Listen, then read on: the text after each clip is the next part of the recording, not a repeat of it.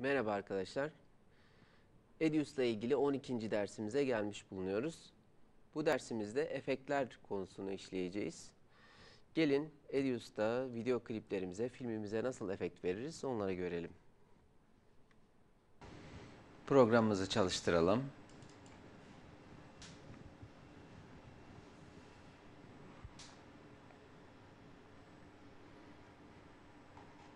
En son dersi aktifleyerek burada son açtığım projelerin en üstünde Open komutunu tıklayarak son projemizi açıyoruz.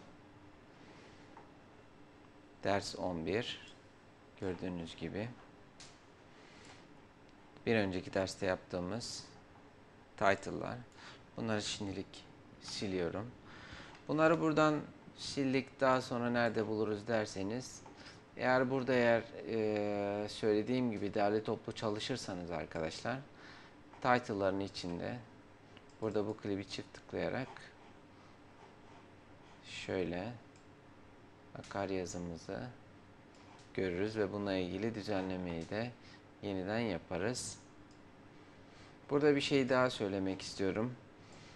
Şurada altta gördüğünüz hazır presetlerden yani burada tek tek e, yazıların ayarlarıyla uğraşmadan siz dilerseniz buradaki hazır template'lerden diyeyim çift tıklayarak direkt olarak şurada bakın farklı bir şeyler tıklayayım. Şu yeşilli mesela direkt e, o ilgili template sizin yazınıza uygulanır. Sadece yazınızı aktifleyip çift tıklamanız yeterli.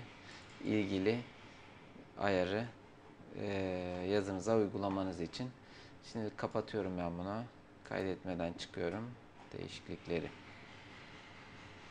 Bugünkü dersimizde efektleri göreceğiz arkadaşlar.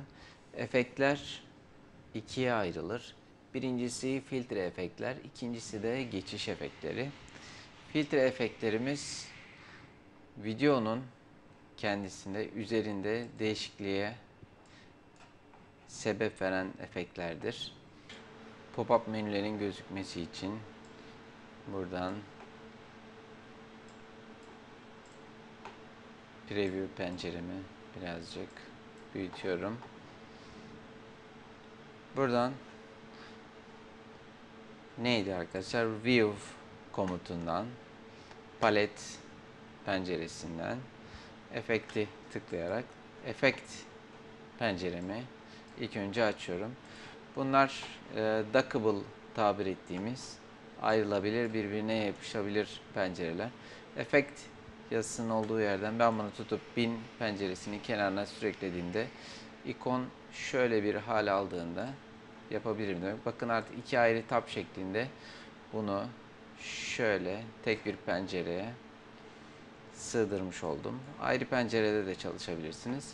Eğer efekt penceresinin ve diğer paletlerin burada olduğunu unutursanız yine alttan Window Layout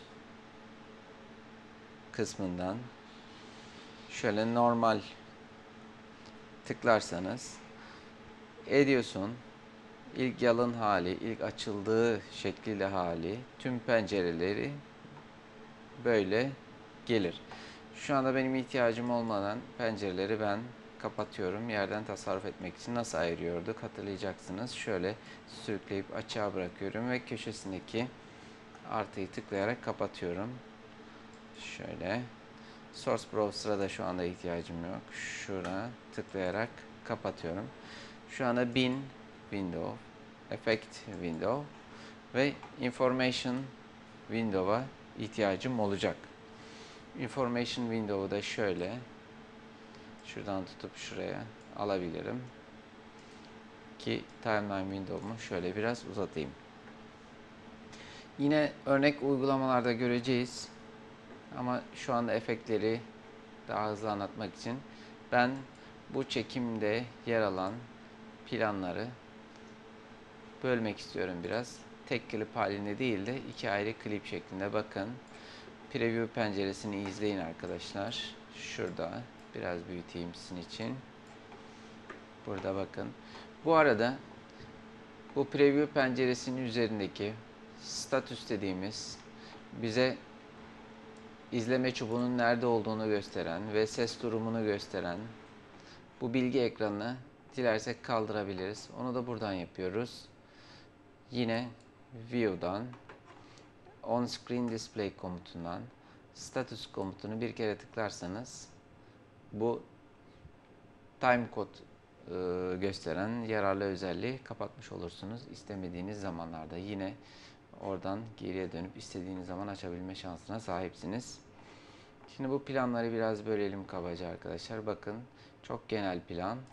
Ben buradan klavye üstünde C tuşuna basarak hemen kesiyorum.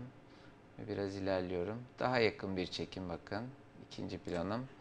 Şuradan N harfine basıyorum bu sefer ve şu sol taraftaki şu küçük parçacığı da atmasını sağlıyorum. Yani şöyle oldu. Bakın biraz ölçeğimi büyütüyorum. İkinci plana geçtiği yer. iki ayrı klip şekline geldi artık. Bu kadar uzunluk yeterli. ikinci klibim için. Yine buradan klavye üstünden C harfine basıp bir kesim noktası oluşturuyorum ve bir sonraki planı buluyorum. Bir sonraki planım saate biraz daha yakın bir plan. Şöyle şu aralığı da istemiyorum. N harfine basıp hem buradan kesip hem bu bölümdeki istemediğim klipten kurtulmuş oluyorum. Şöyle ki bu kadarlık bir aralık yine bana yeterli. C harfine basıyorum. Bir kesim noktası oluşturuyorum ve saatin en yakın planına kesmiş oluyorum. Yine şu bölümü istemediğim için hem buradan bir kesim noktası oluşturacağım hem de bu bölümü sileceğim. Sadece N harfine basıp burayı atıyorum. Ve şuradan yine bir kesim noktası oluşturup sağ taraftaki tüm klipleri öteliyorum. Şimdi sadece şunun başını da keseyim arkadaşlar. Aşağı yukarı eşit uzunlukta olsunlar. Şu bölümü de istemiyorum. Bakın Ripple Delete Mod açık olduğu için şurada bunu delete tuşuyla siler silmez o boşluğu kapatarak e, silecek. Ben şu anda bunu kapatmak istiyorum. Şimdi sileyim bakın. Ripple Delete modunda olmadığı için 4 klibimiz ve bundan sonra sağında kalanlar olduğu yerde kaldı. Şimdi efektleri nasıl uygulayacağımızı görelim. İlk önce ne dedik? Filtreler iki türlüdür. Bir filtre efektlerimiz video filtre efekt, bir de transition efekt, geçiş efektlerimiz var. Video efektleriyle ilgili. Bunların nasıl kullanılacağını ve çok popüler olanlarından bahsedelim. Ne dedik? Efekt window'umuzu eğer bulamazsak pardon şöyle çekelim. Bunlar dockable tabir ettiğimiz yani istediğimiz yere taşınabilir olduğu için e, şöyle hemen tutup bıraktığınızda bazen yanlışlıkla da e, bu pencereleri farklı yerlere sürükleyebilirsiniz arkadaşlar. Nerede ne demiştik? Buradan View penceresinden e, palet komutunun altından eğer kapalıysa efekt penceremizi burada bulabiliriz arkadaşlar. Gördüğünüz gibi efekt e, klasörümüz burada. Kenarındaki artı işaretini tıklayarak efektlerle ilgili e, alt başlıkları açıyoruz. Burada birincisi sistem presetlerimiz var. Sistem presetlerimiz e, hazır efektler manasında arkadaşlar. Bu da ikiye ayrılıyor. Video filtre efektlerim ve audio filtre efektlerim. Yine bunları e, genişletirsem color koreksiyon yani renk düzeltme diye Türkçe'ye çevirebileceğimiz çeşitli ayarlar, hazır ayarlar burada bizi bekliyor. Aynı şekilde combine filters yani birkaç filtrenin birleştirilmesiyle oluşturulmuş değişik efektler kullanıma hazır olarak bizi bekliyor. Yine Matrix grubunun altında bir takım kombine efektler ve hazır efektler Region e, bölümünün altında bazı hazır efektler. Bir tek hazır efekt bizi bekliyor daha doğrusu. Audio filters'larla ilgili yine seslere uygulayacağımız efektler. İşte delay, graphic equalizer ve tone control, parametric equalizer gibi popüler bazı efektler hazır bir şekilde kullanımıza sunulmuş. Bunların şimdi nasıl kullanılacağını göreceğiz. Bir alt yerde, yerde ise video filter efektlerim var.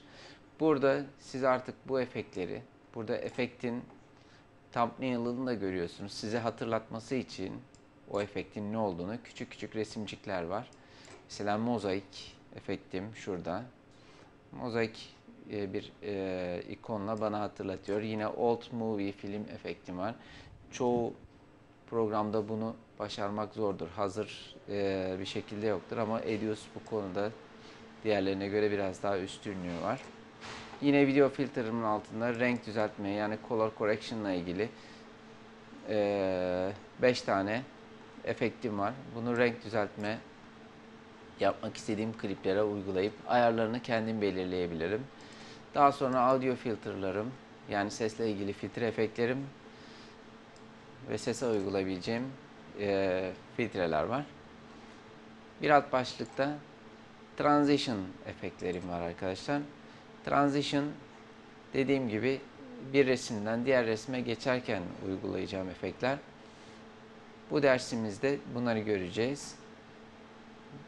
Bunlar da kendi aralarında gruplanmış bir şekilde Edius'ta.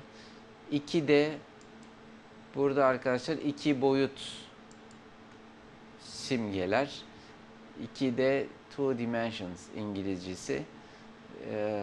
3 boyutta 3 boyutlu anlamında. Alfa efektlerim var. GPU efektleri başlığı altında sıralanmış efektlerim.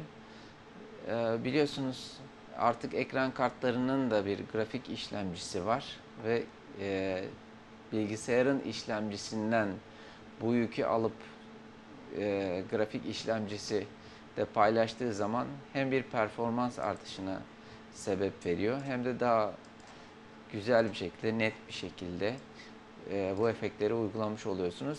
GPU'nun yapabileceği, tabi bu sizin ekran kartınızın gücüyle de orantılı. E, hazır bir takım, böyle bakın, efektlerimiz var. Yine hepsine girmeyeyim. Çeşitli alt başlıklar altında toplanmış. Çeşitli işlerde kullanabileceğiniz şöyle e, bayağı bir zengin, e, hazır ya da kullanılma, e, değiştirilmeye müsait efektlerim var. Şöyle bakın. Bunların hepsi geçiş efektleri arkadaşlar. Geçiş efektleri alt başlığı altında şurada. Bakın transitions. Dediğim gibi transitions efektler bir resimden bir diğer resme geçerken kullandığımız efektlerdir. Burada yine çeşitli efektleri görüyoruz. Kullanılmaya hazır bir şekilde. Bir alt başlıkta Audio Crossfaders, Fades efektlerim var. Bu da iki sesi birbirine bağlarken kullanacağım geçiş efekti. Ee, zaman zaman e, bir ses iki sesi yan yana birbirine bağlarken bir önceki giden sesin yavaşça azalmasını bir sonraki gelen sesin de yavaş yavaş yükselmesini isteriz. Onları burada hazır olarak ve farklı metotlarla görüyorsunuz uygulayacağız. Bunu sesler bahsinde daha ayrıntılı olarak bunları göreceğiz. Burada yine title mixerim e, var. Burada e, bir önceki derste görmüştük. Title'larla ilgili efektlerimi burada yapabilirim. Yani bu title layer'ında bir klibim varsa, bir title'ım varsa, bir yazım varsa filmin üstünde onun için efektleri mutlaka bu title mixer deki efektleri kullanarak yaparım. Bu çok yararlı bir özellik Edius için. Programımızın daha hızlı çalışmasını sağlıyor. İlave bir işleme gerek kalmadan real time filmimizin efektlerini görmüş oluyoruz burada. Yine bir altta key efektlerim var. Arkadaşlar key efektim Bunu After Effects dersinde daha ayrıntılı göreceğiz aslında. Ama burada kısaca bahsedeyim. Ee, çektiğimiz herhangi bir objeyi tek bir renkte çekersek e, daha sonra bu objeyi istediğimiz fona yerleştirebiliriz. Bugün Hollywood çoğu zaman e, green box dediğimiz, green box da dediğimiz bu key özelliğini çok sık kullanır. Hatta artık bizim Türk sinema sektöründe de çok güzel örneklere rastlıyoruz. Biz Türklerde çok başarılıyız diyebilirim bu key konusunda. Şimdi bugünkü efektler konusundaki dersimiz bu dersteki daha doğrusu transitionlarla ilgili olan yani iki resim arası geçişleri nasıl efektlendirebiliriz? Bu planları size bu transition efektlerini gösterebilmek için böldüm. Şöyle bakın. Genel bir çekim, orta genel, yakın çekim ve çok yakın çekim. Şöyle dört ayrı çekim ölçeğinden oluşan hızla oynattığımda görüyorsunuz. Şimdi bunların arasına bir efekt koyarak geçmek istiyorum. Transition alt başlığı altında şöyle preview penceremi hafif sola alayım. Şöyle tıkladığımda iki boyutlu transitionlarımdan ilk sıradakini zaten kendisini aktiflediğimde görüyorsunuz bana bir ön izleme de yaptırıyor. Yani bu efekti kullanırsam A resminden B resmine geçiş bu şekilde olacak diye bana gösteriyor.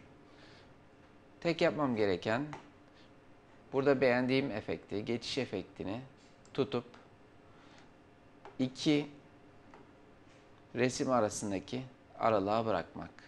Bunu bırakmadan önce ben ölçeğimi biraz daha şöyle büyüteyim ki daha net gözüksün. Şöyle arkadaşlar tuttum ve iki resim arasındaki boşluğa bıraktım.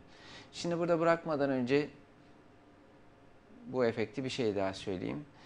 Şu efekti tam kesim noktasına, imleciniz kesim noktasına gelecek şekilde bırakırsanız efektiniz tam ortalanmış olur.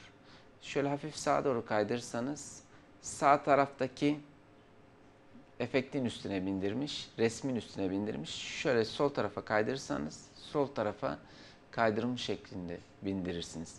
Özellikle onu istemiyorsanız, o etkiyi istemiyorsanız size önerim her iki e, resmin üstüne gelecek şekilde, şöyle ortalayacak şekilde efektinizi bırakmanız.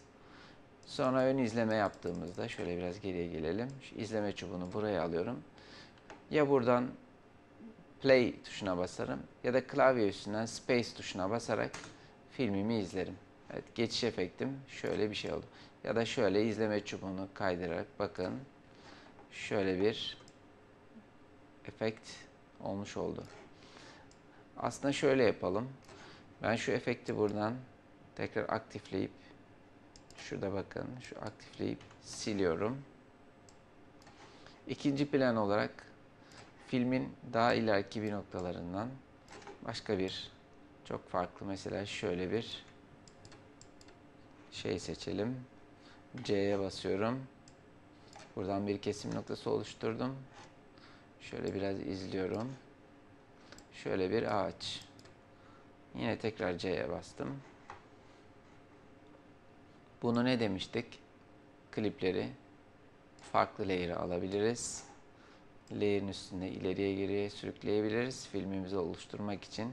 Şöyle sola doğru sürüklüyorum. Filmin başına doğru. Ve ikinci resim olarak ben bu resim yerine bunu kullanmak istiyorum ki geçiş efektimiz daha kendini belli etsin, görelim. Evet, tekrar bu ilk önce ölçeğimi yeniden büyüteyim. Şöyle bu efektimi alıp bunun üstüne sürüklediğimde bakın ön izleme penceresinden bakın arkadaşlar. Şöyle bir geçiş efekti oldu. Bu efekti eğer istemezseniz şöyle timeline'ımı büyüttüm ölçeğimi. Bu efektin kendisini aktifleyip şöyle bakın aktifleyip delete tuşuna basarsanız efekti silmiş olursunuz. Bir diğer yöntemi daha var. Efektle ilgili değişiklikleri yapmanın ya da silmenin.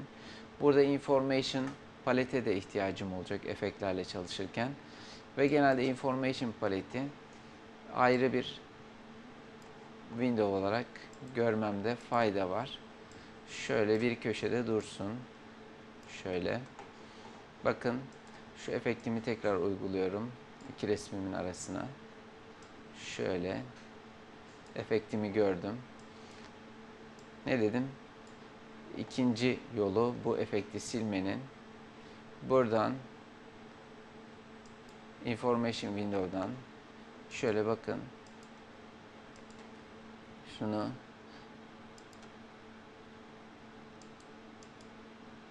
aktifleyip buradan silmek. Information window üzerinde hangi klip aktif ise onunla ilgili bilgileri görürüz arkadaşlar. Bakın Love Campus bu çiçek e, planım. Bununla ilgili detayları görüyorum. Sol taraftaki klibi tıkladığımda sol taraftaki kliple ilgili detayları görmüş olurum. Sıradaki efektimi uygulayayım. Blind Slide yine tam ortasına gelecek şekilde. Bakın bu biraz daha farklı bir efekt. Yine bu klip e, buradaki efekt aktifken Information Window üzerinde bakın Blind Slide efekti şuradaki aslında buraya uyguladığım bu Information Window'un içindeki benim buraya uyguladığım efekttir. Bunu çift tıkladığımda efektle ilgili bir takım ayarları değiştirebilirim. Tiles yani bölünmeleri ve stripe'ları izlerin sayısını arttırabilirim. Ve burada bir takım presetler var. Bunları da ben direkt olarak seçip uygulayabilirim. OK dediğimde bakın efektin şöyle değiştiğini görüyorum. Default ayarından yani kendisinden gelen ayardan bayağı bir değişiklik oldu. Bu efekti de siliyorum. Burada gördüğünüz gibi mesela daha çok kullanılan circle efektim şöyle bakın şöyle bir efektim var. Yine bununla ilgili değişiklikleri şöyle tıklayarak. Bunları aslında real time burada da görürüm. Burada yaptığım değişiklikleri şöyle değiştirerek. Şöyle arkadaşlar. Bakın. Yine hazır presetlerden dilediğimi seçerek şöyle. Mesela şöyle. Bakın diye bir resimden bir resme geçerken farklı efektler kullanabilirim. Bizim en çok sık kullandığımız sinemada mix diye de tabir ettiğimiz ya da zincirleme de e, denir Türkçesi ya da geçme olarak karşılaşırsınız. Buradaki adı ve diğer tüm video edit programları adı Dissolve'dur arkadaşlar. Yine tutup bunu iki resmin arasına bıraktığımda bunun da mix adı üstünde anlayacağınız üzere bir resim azalırken diğer resmin çoğalması şeklindedir. Biz burada bu efektin süresini yani buradaki geçiş süresini yine bu efekti uyguladıktan sonra imleci bu efekt üzerinde sağa sola ne taraftan uzatmak istersek getirip şöyle sağa doğru ya da sola doğru uzatabiliriz. Bakın o efektin geçiş süresi bayağı uzadı. Bir diğer yöntem de arkadaşlar. Bunu buradan tekrar sileyim. Yine dissolve efektinden eğer konuşacak olursak sağ tuş üzerinde sağ tuşla bu menüye ulaşıyoruz. Duration Transition Burada bakın bir saniye default sürem var. Bunu buradan seçerek yukarıya doğru sürükleyerek belirleyebileceğim gibi elimle de yazabilirim. 4 saniye yapayım mesela. 4 00 dedim. Direkt 4 saniye oldu bunun süresi. Bakın şöyle koyduğumda zaten şey olarak da anladınız. Klibin süresi olarak da bakın 4 saniye boyunca şöyle space tuşuna basıp oynatıyorum. Uzun bir mix ya da dissolve efekti uygulamış oldum.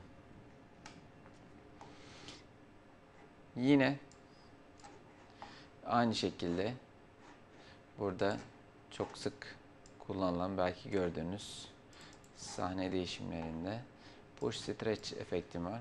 Bunun etkisini görelim. Bakın şöyle yavaşça diğer şekle geçti. Tabi biz bunun şeyini çok fazla ayarladık. Geçiş süresini 4 saniye. Bunu 2 saniye çekeyim ben. Şöyle. Bunu sildim. Yani default süre 2 saniye. Şöyle arkadaşlar bakın. Etkiyi görebilmek için. Bu da böyledir. Burada diğer farklı eee, gruplar altında birçok efektim var. Siz bunları belirttiğim yöntemle iki klibin arasına geçiş efekti olarak kullanıp kendiniz deneyebilirsiniz. Evet, bu dersimiz de burada bitti. Bir sonraki derste görüşmek üzere. Hepiniz hoşçakalın.